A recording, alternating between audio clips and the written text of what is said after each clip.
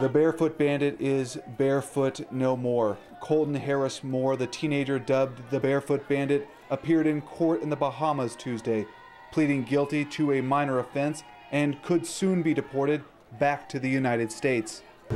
The charge for the 19 year old Harris Moore illegal entry into the country. His guilty plea will result in a $300 fine and deportation. His attorney said the U.S. government will pay the fine. He, he wanted to go home, so that's the fastest way of getting home. Mhm, Because if he pleaded not guilty, then we would um, he would be facing a trial, and who knows when it would have started. Earlier, authorities in the Bahamas said Harris Moore would face a variety of charges, including illegal weapons possession.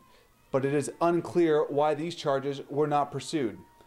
Juan McCartney was in the courtroom to hear the guilty plea. He's got a deep voice, you know, spoke clearly to the judge, tall guy, and looked him right in the eye, said guilty.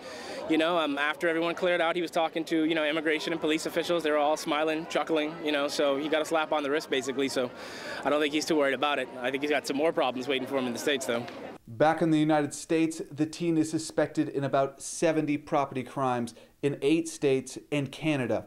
Harris Moore is accused of getting to the Bahamas by stealing a plane in Indiana. Now, prosecutors in the U.S. are preparing a case against the team, who could potentially face years behind bars.